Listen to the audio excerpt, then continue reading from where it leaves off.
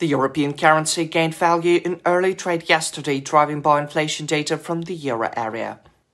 Inflation in the region accelerated in October, with the consumer price index reaching 2% year on year, up from 1.7% in September. Core inflation, which excludes volatile food and energy prices, remained unchanged at 2.7% year on year, slightly above economists' expectations of 2.6%. This reinforced expectations that the European Central Bank would be in a no hurry to cut interest rates, which in turn supported the euro. The Eurozone unemployment rate came in at 6.3% in September, stable compared to August and slightly below market forecast of 6.4%. This also bolstered demand for the European currency. However, the bullish trend reversed after the release of upbeat US initial jobless claims data. The US PCE price index, a gauge closely watched by the Federal Reserve, rose by 0.3% from the prior month in September and 2.7% from a year earlier. This report also backed up the greenback. In addition, US personal income and spending climbed, suggesting continued price pressures. Now, let's take a look at a two days macroeconomic calendar. It is bereft of any major reports from the euro area. The UK is scheduled to release data on housing pricings, prices and manufacturing activity. All eyes will be on US unemployment and non farm payrolls data. The unemployment rate is forecast to remain unchanged at 4.1% in October. The median estimate for non-farm payrolls for the month of October is 106,000, well below September's 254,000. If the actual reading is higher than the forecast, the US dollar is likely to strengthening, with a case for the Fed to cut interest rates becoming less compelling. In case of disappointing data, the euro and the British pound will have a chance to recover, while the greenback will extend losses. Furthermore, traders may take notice of the US ISM manufacturing PMI.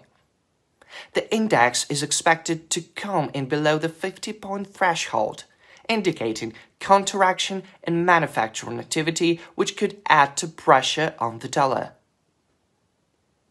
From a technical perspective, the one hour chart shows that the euro dollar pair is unlikely to see any strong price movement in the early hours of trading. A decline followed by a false breakout at 1.0866 will generate a strong buy signal, pushing the euro up to 1.0887. If the price breaks through and consolidates above this level, driving by weak US jobs data, the volume of long positions will increase. In this case, the euro will rise to 1.0915 and even 0935. At this level, I recommend going short on the rebound to catch an intraday correction of 50-20 pips. Short positions at 1.0915 and 0887 can only be considered after false breakout. If the euro falls after US statistics, bulls are unlikely to regain control of the market around the 1.0846 mark.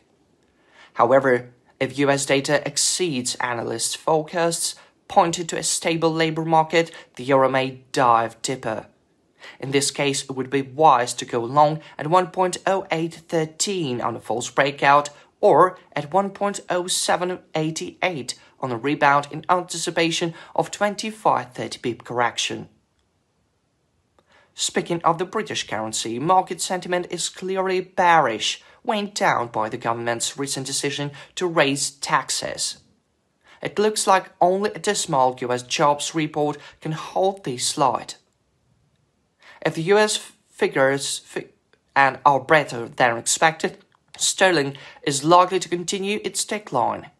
Therefore, it is not worth rushing into long positions. With a light macroeconomic calendar in the first half of the day, a false breakout at 1.2875 will generate a buy signal, driving the British pound up to 1.2904. If the price breaks through and consolidates above these mark, buying activity will increase, paving the way for further gains to 29.32, 29.61 and even 29.96. However, these levels can only be reached after the release of US data. At the levels of 1.2996 and 2961, traders are advised to go short on the rebound to catch an intraday correction of 25-30 pips. Alternatively, bears may, may regain control of the market at the 2904 level. This would generate a sell signal and drag sterling down to 28.75.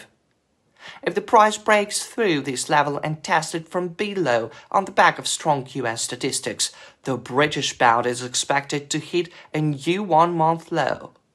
At a below 28.45 will open the door to 28.00 and probably 1.2764. At this level, I recommend going long on the rebound in anticipation of 35.40 big move going long at 28.45 and 28.00 will only be relevant after a false breakout. Good luck to all. Have a great weekend.